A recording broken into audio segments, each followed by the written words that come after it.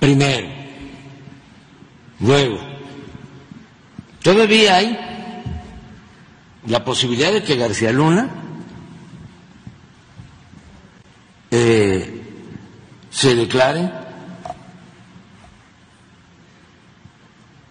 como testigo. Y yo diría, como presidente de México, por el bien del país, que ojalá y lo haga, a cambio de que informe sobre